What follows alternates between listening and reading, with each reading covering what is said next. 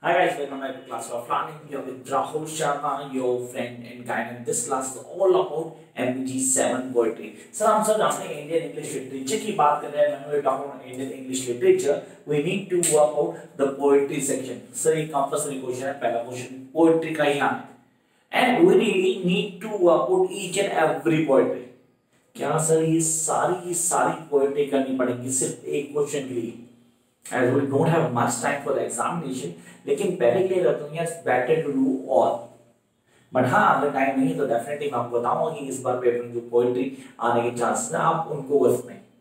हाँ सेकंड कहीं ना कहीं कुछ ना कुछ मिस करके आपको बता दूँगा कि अगर ये पोइट्रीज आप कर लेते हैं तो आप पेपर इजीली क्रैक करोगे तो पहले जानते हैं पोइट्री कलेक्शन क्या है.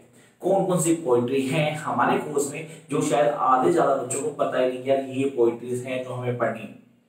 Let's start with the discussion of Henry Thoreau, The Harp of India, My Country.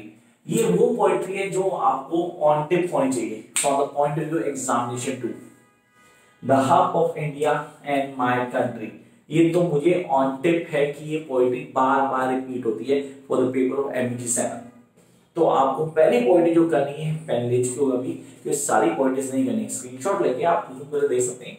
लेकिन फ़िलहाल आपको जो करनी करनी है वो साथ बताते जाऊँगा the half of India and my country from Henry क्लॉजियो ये मोस्ट एक्सपेक्टेड पोएट्री जो पेपर में आएगी।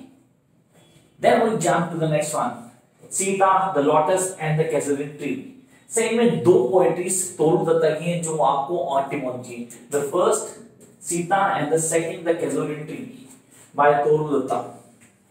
तो यार ये दो पोएट्रीज एक सीता सीता क्यों की बार रिपीट हो रही है सर इसलिए या इसका जो कंटेंट है वो थोड़ा अलग है And second, the Casalin tree. Sir, the Casalin tree we cannot avoid is a repeated question again and again from this particular poetry. अगर मैं last year के वेव देखता हूँ तो I cannot take a risk to leave this particular poetry. Then I jump to the next part from Sri Aurobindo, A Tree, Life and Death, Bride on Fire and the Golden Light. The two poetries that you must go for it the bright on fire and the golden light दोनों के दोनों अरविंदो के masterpiece में आते and the name really is a big name Shri Aurobindo was a big name next one उससे ही बड़ा नाम है आपने क्लियर करना है जो। तो यहाँ हमारी ज़रूरी है पहले bright on fire and the golden light अगर टाइम हो तो सारी सारी पोइट्री की नोट्स में मैंने सारी दे रखी आपको। आप वहाँ से ऑन टिप कर सकते हैं। कैसे क्लियर करना है? कॉन्सेप्ट मैं बताऊँ। सबकी वीडियोस भी मिल जाएगी जल्दी। Come on, next one. We are having the Indian dancers Lavender, the old woman from none other than Sarojini Naidu. सबसे इम्पोर्टेंट इंडियन डांसर्स मैंने टॉप है सरोजिनी नायडू तो सर इंडियन डांस एक अलग ही सिग्निफिकेंट रोल प्ले करती इस पोएट्री को आपको ऑन टिप करना है। The Indian dancers and we can leave the two मैं सारी नहीं करवा सकता आपको क्या आपके पास टाइम नहीं है अभी इतना। तो आप जो मैं कह रहा हूँ, खाली आप उन पे ध्यान दें तो डेट बी बेटर कि छह में से कोई दो आपको चूज़ कर लेनी होगी। Then come to Nissim एजल्स so the enterprise poet lover bird watcher और द बैकग्राउंड कैजुअली तो सर इसमें मैं एंटरप्राइज पे हाईलाइट करूँगा या बैकवर्ड बैकग्राउंड कैजुअली ये आपको आनी चाहिए दोनों ये दोनों पोएट्रीज कहीं ना कहीं ऐसा सीक्वेंस क्रिएट करती हैं कि हम पोइट को समझ पाते हैं। एंड यहाँ पे आपको लिटरेरी क्रिटिसिज्म ऑन टिप होनी चाहिए सर द पोएट्री डिवाइसेस उनको क्लियर करना कि वो डोमिनेंट रोल प्ले करेंगे इनको समझ लेंगे। Come on, next poetry. We are having from the Kambalas. An introduction by grandmother house and the sunshaped cat. और सर जो आपको करनी हो sunshaped cat ही है जो आपको ऑन टिप चाहिए तो अभी तक कितनी पोएट्री कर चुके हम? One the half of India Sita casuarina tree तीन ब्राइड ऑफ़ फायर चार द गोल्डन लाइट पाँच then we are having the Indian age छह एंटरप्राइज सात बैकग्राउंड कैसली आठ और द सनशाइन कैट तो सर ये हो गई nine poetries from this segment तो आपने कहा, सर नो तो ये हो गई. सर नो भी कम नहीं है, जब तक कि पेपर अभी आने वाला ज़्यादा टाइम नहीं रहेगा आपके पास। आपने कहा next looking for a cousin on a string self portrait a river love for the wife. Love, poem for the wife. A K Ramanujan इसको तो अवॉइड करना बनता ही नहीं भी क्योंकि इसको हम बचपन से पढ़ते हैं। Second we have looking for cousin on string ये दो पोएट्रीज प्लीज़ क्लियर कीजिएगा, इन दोनों को समझना है। अच्छा पोएट्रीज कैसे करेंगे? टाइम कम है तो समझने का तरीका I let you don't worry watch till end second जय होगा सर आँख बंद करके। हम आँख बंद करके ऑन टिप होनी चाहिए पोइट्री जिसको आपको करना ही करना है। ऑलरेडी मैंने प्लेलिस्ट में डाली हुई है अगर चैनल सब्सक्राइब किया तो आप देख सकते हैं कि हंगर की वीडियो वहाँ मिल जाएगी आपको। Then we come next one the bus low temple और चैतन्य। यहाँ पे आप आते हैं, चैतन्य पे फ्रॉम अरुण कोलकर चैतन्य वो पोएट्री है जो सोसाइटी को डिफाइन करती है। सोसाइटी क्या है? सोसाइटी क्या चेंजेस आ रहे हैं किन चीज़ों को हमें पढ़ना है।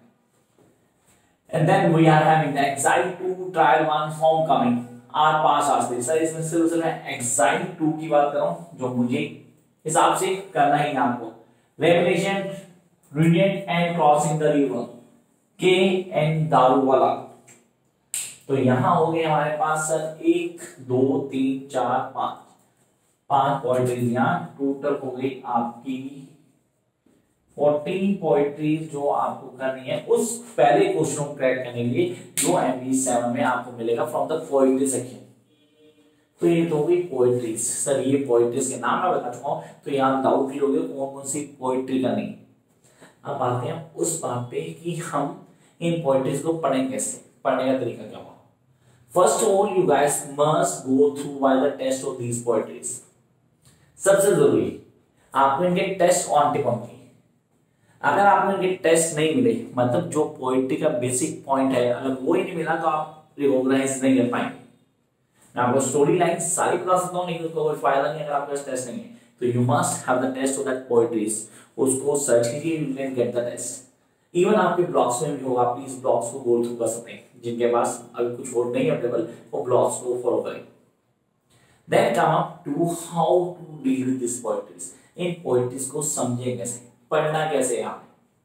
पोएट्री को पढ़ने का सबसे बढ़िया तरीका होता है पोएट्री को फील करो जब आप पोएट्री के पोएट्री डिवाइस लेके उनको दिमाग में लेके चीज़ों को एप्रोप्रिएट वे में अप्लाई करते हैं then you get each and every part of the poetry तो इसके लिए सबसे इंपॉर्टेंट होगा poetry device literary figures figure speech को क्लियर करना। Such as the alliteration metaphor similarly सबको आता हम सब जानते हैं। देन दो से तीन चीज़ें। पन के वर्कआउट करना ज़रूरी है। पन को प्लीज़ समझेगा। Pun the poetry device that tells you about the internal and external meaning of poetry वो बहुत मैटर करता है। When to Indian Indian English तो आपको उस पे ध्यान देना है। ये हमें हेल्प करने वाला है बहुत ज़्यादा। Till then keep watch the videos बाकी टिप्स के लिए कोई भी प्रॉब्लम होती है, आप प्लीज़ कमेंट बॉक्स में। Bye guys